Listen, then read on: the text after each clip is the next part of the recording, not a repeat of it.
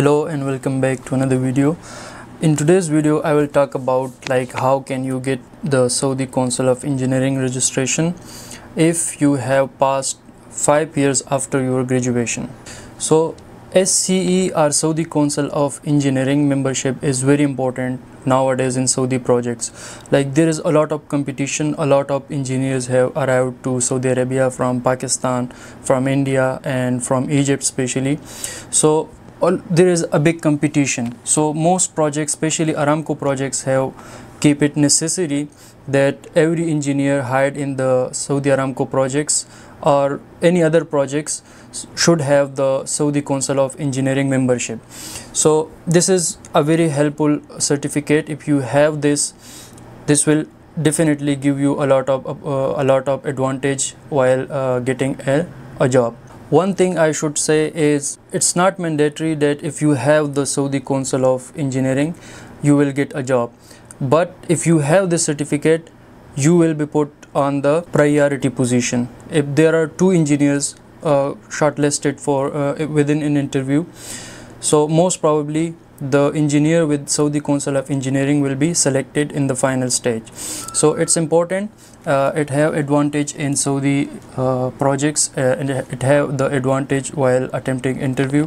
First question they mostly ask about the Saudi Council of Engineering. Like they ask do you have the Saudi Council of Engineering or not? So if you have so you have more more chances to be selected in the final stage. But if you don't have it doesn't mean you will not be selected. There are some projects which don't require this certificate uh, but for uh, Saudi Aramco projects it's a mandatory nowadays. So what are the requirements for Saudi Council of Engineering? The biggest requirement is your degree should be 5 years old. For example you are graduated in 2019 so in 2024 you are eligible to get this certificate. And if you are graduated in 2020 so this is 2025 so you will be eligible for this certificate. And keep in mind that if you are graduated in let's say in June 2020 so you will be eligible for this certificate in June 2025 exactly 5 years after your graduation so it becomes in total 60 months. So after 60 months of your graduation you are eligible. Now what documents are required to get this certificate? First you should as i said your degree should be 5 years old. The documents required are number 1 the degree. Your degree should be attested from your country both front page and both the back page. Second required document is your employment letter the third one is your Iqama.